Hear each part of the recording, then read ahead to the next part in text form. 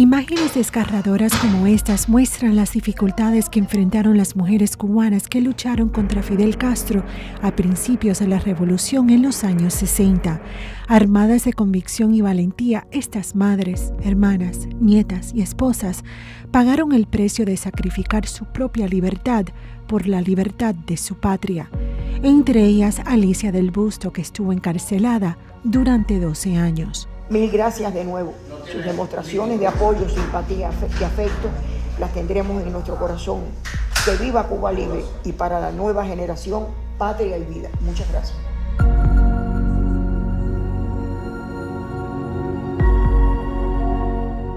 Todo esto yo lo aprendí de mi padre y de mis tíos y mi abuelo que en paz descanse, que me enseñaron lo que era la patria, cómo había que amar a la patria, cómo había que saberla defender. Eso fue lo que me impulsó a mí a decir no, porque no hay lugar a duda que, mire, muchos, muchos presidentes de, mi país cometieron errores, porque los errores los puede cometer cualquier ser humano. Ahora Fidel Castro cometió horrores, no errores, horrores. Silencio en el set. Gracias. El director de cine Lilo Vilaplana busca plasmar esos horrores en su más reciente proyecto, Plantadas. Dicho largometraje es una historia inspirada en hechos reales y no un documental. Tiene como objetivo, según dijo textualmente el realizador, que el mundo entero conozca los crímenes del castrismo, las cosas que hicieron y cómo acabaron con una nación. Es muy importante porque la dictadura nunca ha hablado del presidio político femenino. Es importante porque siguen existiendo presas políticas en Cuba. Es importante porque la dictadura eh, golpea, encarcela a las damas de blanco. Eh, es importante para que el mundo conozca eh, los crímenes de una dictadura como la dictadura comunista, que siempre eh, derechos humanos, no sé por qué razón, le pasa la mano, eh, mira para otro lado, es eh, ciego y sordo ante los reclamos de un pueblo que pide libertad. Y es importante que sepa que pide libertad porque hay un abuso de poder y hay una dictadura que por 63 años tiene a un país sumido en la miseria.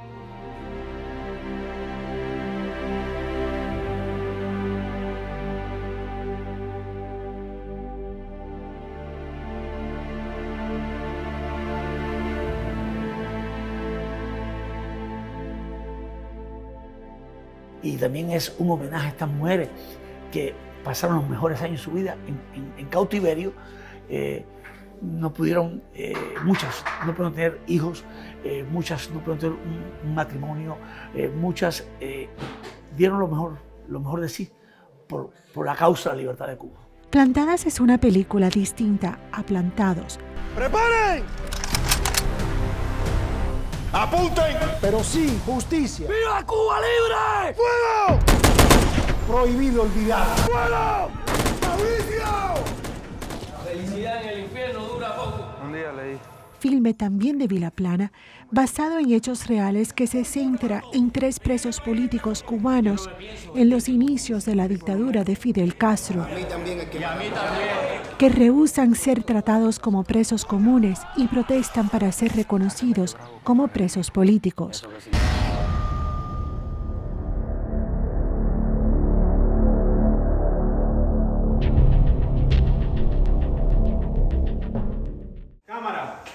Vete Alfa Tecuan.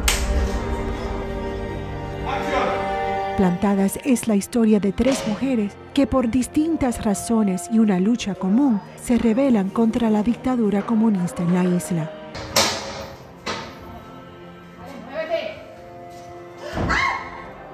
Yo te aconsejo que te pongas el uniforme. Aquí se decide la manera en la que vas a pasar tu condena. Jennifer Rodríguez, quien protagoniza una de las expresas, no pudo controlar sus emociones al escuchar a una de las sobrevivientes contar su historia. Es, muy fuerte, es como todo lo que he leído y todo lo que he escuchado está en una persona, es una persona que a mí, por ejemplo, me, emocionó de sobremanera que ella la, tuvo un niño con 16 años, yo tengo dos niños, como madre yo no me puedo imaginar que puede ser estar lejos de mis hijos. Y esas mujeres dejaron su vida y estuvieron lejos, no vieron cómo sus hijos crecían, cómo sus hijos aprendían. O sea, el vínculo, por más amor, por más que le pudieran hablar a sus hijos de su madre, hay un vínculo que se rompe. Y es casi eh, poner a la patria, a Cuba, por, por, por encima de todo eso. Y eso a mí me parece demasiado admirable.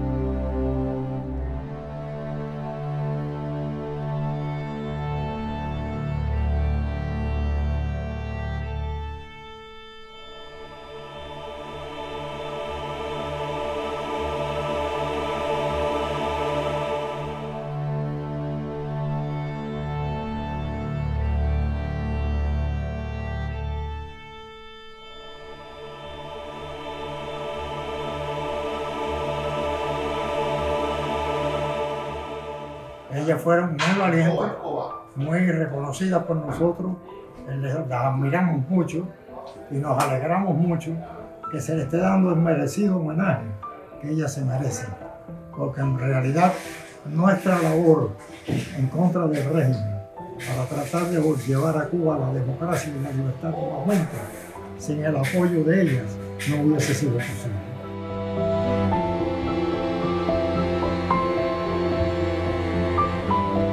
Roxana Romero, Radio Televisión Martí.